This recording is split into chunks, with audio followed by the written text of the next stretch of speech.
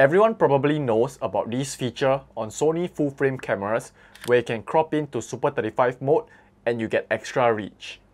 However, I'm pretty sure that most people, myself included, aren't sure if it impacts your image in any way.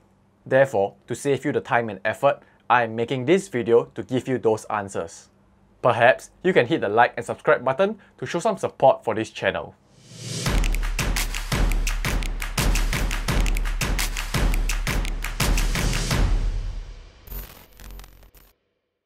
Hey guys, what's up? My name is Bernard and welcome to the channel. For today's video, we will be exploring the consequences, if any, when you use the Super 35 mode on the Sony full frame cameras. In photo mode, when you enable the Super 35 mode, you have a severe drop in megapixels. However, it is said that when you use Super 35 mode in video, there will be no loss in image quality. Call me a skeptic, but I would like to run some tests to find out for myself. Furthermore, there are other aspects apart from image quality that might be affected, so I'll be testing that out too. The first test is an image quality test, and I was wondering if differences were visible if the footage was shot in 1080p. Now, I will shoot the same image in Super 35 mode and I'll move the camera back to achieve the same framing so both images can be compared equally. Looking at the images side by side, I would like to point out that there is actually a slight bit of loss in image quality, although you probably wouldn't be able to tell without such a comparison. To make sure that my results are accurate, I decided to shoot my next example in 4K. This time, I'm shooting with the a7 III. I am not using the a7S III because that camera is not able to use Super 35 mode in 4K. Honestly, I could barely tell any difference if I was looking at the clips this way. However, side by side, you can tell that the image shot with the full frame sensor is slightly sharper. Since this is a 4K image on a 1080 timeline, I could crop in and show you guys the difference. Here is another example shot in 4K again. When looking at the clip without a side-by-side -side comparison, I honestly wouldn't be able to tell that this is shot in Super 35 mode. I would like to conclude this round of tests by saying that even though there is a difference, no one will be able to tell unless it's compared side by side and the image is in fact very usable even when shot in Super 35 mode. With that question answered, let's now take a look to see if there are any other impacts. From what I understand, using the Super 35 mode is like turning your full frame sensor into an APS-C sensor. One of the big advantages of shooting with a full frame sensor is greater flexibility when it comes to depth of field. What that means is that it is easier to achieve shallow depth of field effects with a full frame sensor. If that's the case, will my depth of field be less shallow when we're shooting in Super 35 mode? Let's find that out. This time, I'll be shooting with a zoom lens.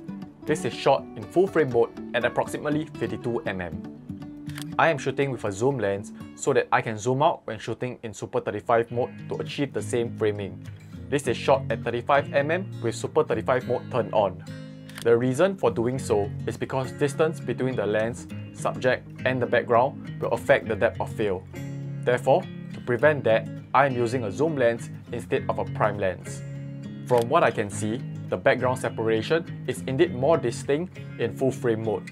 Let's take a look at a close-up in the next example to confirm the results. FYI, I'm focusing on the dog's nose instead of its eyes. The depth of field is indeed thinner in the image shot on the full frame sensor.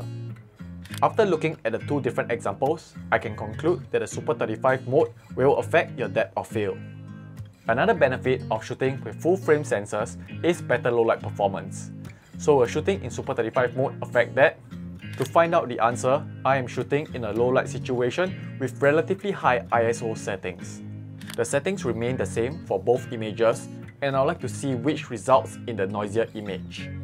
Side by side, the noise in the image shot in Super 35 mode is indeed significantly noisier in my opinion. With these results, I would definitely try to avoid using Super 35 mode in low light situations where I have to use high ISO levels. The last advantage I can think of for shooting with a full frame sensor is that it will give you better dynamic range. In this test, I'll be shooting a subject in a high contrast situation and exposing for the background.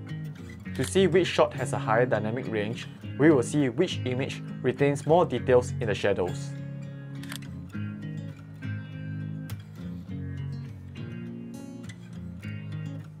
I did a second test with a different high contrast scene.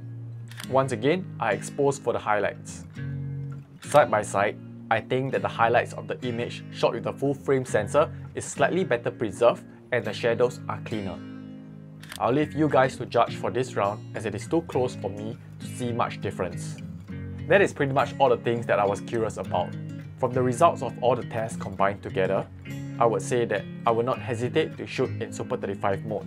I will only try to avoid it in low light situations. I hope this video gives you the answers you have been looking for and perhaps even answers that you never knew you wanted. I hope you guys enjoyed this video and found it useful. Don't forget to like and subscribe if you did. That's it for today. It's a wrap!